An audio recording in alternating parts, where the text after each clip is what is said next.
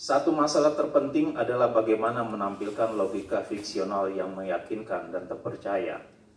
Gagasan atau premis cerita masih perlu ditertibkan atau dipertajam logikanya. Juga alur peristiwa yang kendor dengan sebab akibat yang tidak masuk akal. Ada naskah-naskah yang perspektif pengarangnya belum cukup objektif dan adil, bukan hanya antar bagian satu dengan yang lainnya, tetapi juga antar karakter dalam arti karakterisasi dan relasi mereka timpang. Atau jika sebuah kisah berpretensi melantur, lanturan melebar jauh ke mana-mana, seakan-akan berada di luar penguasaan atau kendali pengarang. Sekacau apa pun bentuk sebuah novel, ia tetaplah tunduk pada tata bentuk dan logika tertentu sesuai bangun cerita. Ada pula naskah dengan cerita distopia, berani bereksperimen dengan menetapkan restriksi atau pembatasan tertentu dalam cerita, tetapi kemudian pembatasan tersebut menjadi akar beberapa masalah selanjutnya. Ada pula naskah berwarna lokal yang memikat dan kuat, tetapi pengisahannya ingin otentik seindah warna aslinya, tanpa merasa perlu untuk menerjemahkan bahasa daerah sehingga makna kerap buram atau hilang. Pengarangnya kurang percaya kepada kemampuan bahasa Indonesia sebagai media penulisan yang dapat dipahami semua orang Indonesia. Sekarang kami memastikan tiga pemenang utama. Juara keempat tidak ada karena melihat ada rentang cukup jauh dalam hal kualitas dan keunggulan ketiga pemenang berikut ini yang sayangnya belum mampu terseberangi oleh keenam naskah yang disebutkan sebelumnya.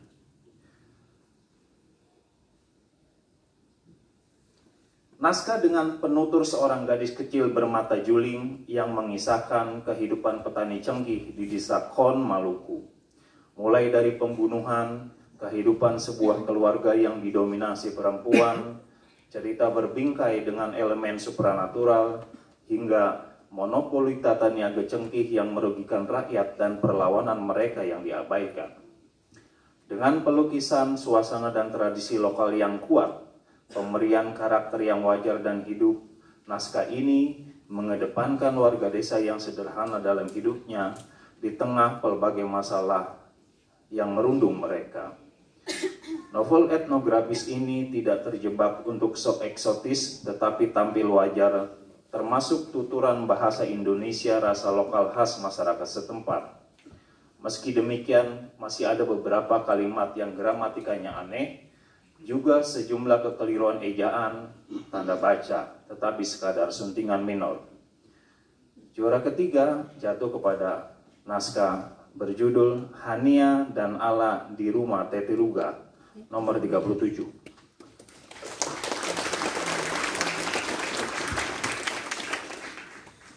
Naskah bertokoh sebilah keris Kiai Kanjeng Karonsi sebagai pengelana waktu yang berpindah-pindah tangan melintasi sejarah Indonesia.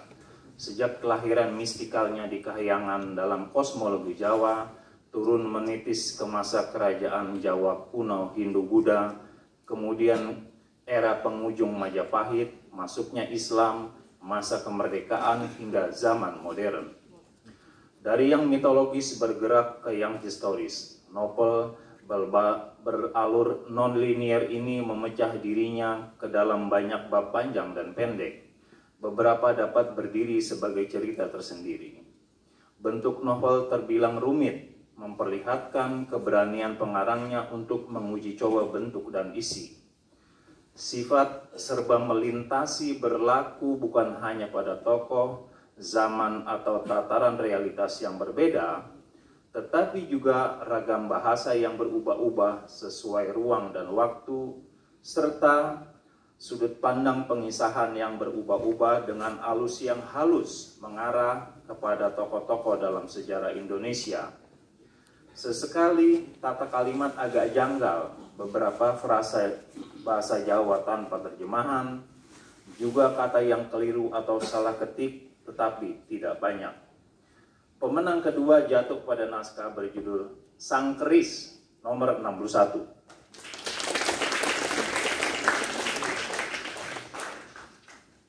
Naskah ini bercerita tentang kehidupan sejumlah warga desa Tegal Urung, Jawa Barat. Naskah ini salah satu dari segelintir yang punya gairah eksperimen, mawas bentuk dengan fragmen-fragmen yang ketat, berlapis-lapis, dan susul menyusul. Fragmen-fragmen episodik yang ringkas satu dua halaman itu tampak disiplin dan konsisten, bergerak beriringan, keluar masuk, maju mundur hingga bagian akhir yang kembali lagi ke awal dalam bentuk sirkuler dengan peralihan yang cukup mulus. Penyusunan fragmen yang ketat membuat novel ini terasa padat dengan akhir tergantung menggantung yang kuat penuh kejutan hampir di setiap fragmen. Tokoh utama berjumlah cukup banyak, namun karakterisasi setiap mereka bulat dan distintif, saling menimpakan sebab akibat yang kait mengait dalam aib dan nasib mereka. Meski tidak menggunakan bahasa Indonesia yang berpretensi sastrawi, novel ini dikisahkan dengan bahasa yang relatif baik dan lentur, serta humor yang khas daerah. Hampir tidak ada kalimat atau frasa yang gora, goyah. Meski demikian, masih ada beberapa kata yang hilang dan mubazir, juga kosakata lokal yang luput diterjemahkan. Naskah ini berjudul Aib dan Nasib nomor 128 menjadi juara pertama. Demikianlah pertanggungjawaban kami selaku Dewan Juri Sayembara Novel DKJ 2019 Cikini 15 November 2019 Dewan Juri Linda Kristanti Nukila Amal Zenhai. Terima kasih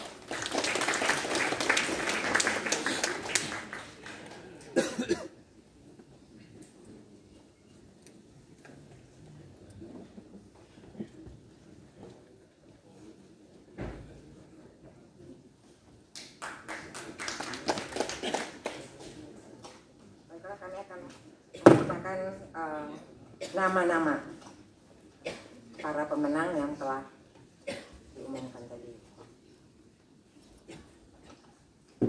Setelah membaca secara buta, membaca tanpa mengetahui nama penulisnya, serta diskusi dan bertukar, bertukar argumen, serta menilai dengan saksama seluruh naskah peserta sayembara novel DKJ 2019 dengan mengacu kepada kriteria penilaian yang sudah disepakati, maka Dewan Juri yang terdiri atas Linda Kristanti, Nukila Amal, dan Zen Hae memutuskan para pemenang sayembara novel DKJ 2019 adalah ini kita urutkan dari uh, keenam yang harapan dulu ya.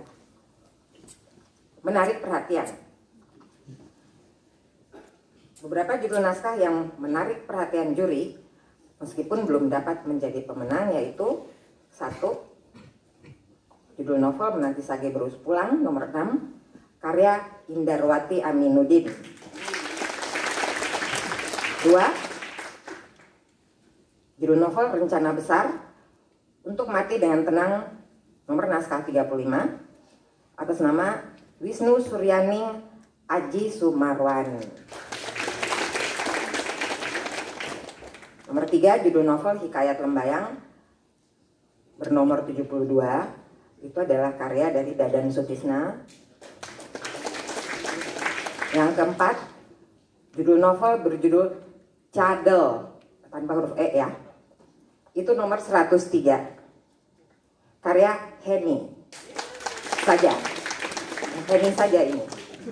Yang kelima judul novel Cerita Cinta tentang Kucing dengan nomor 150 dari Irman Hidayat. Yang keenam dari novel yang menarik perhatian juri ini adalah Burung Kayu 169 adalah karya dari Nidu Paras Erlang. Dan selanjutnya uh, saya akan membacakan pemenang keempat tidak ada seperti tadi sudah dipertanggungjawabkan. Eh, pemenang ketiga berjudul Haniah dan Ala di Rumah Tete Ruga dengan nomor 37 karya Erni Alajai. Pemenang kedua dengan judul novel Sang Keris bernomor 61 nomor naskah adalah karya Panji Sukmo Her Asih. Pemenang satu dengan judul novel Aib dan Nasib dengan nomor 128 adalah karya Minanto. Selamat kepada para pemenang. Baik, selamat kepada para pemenang dan kami undang eh, para pemenang untuk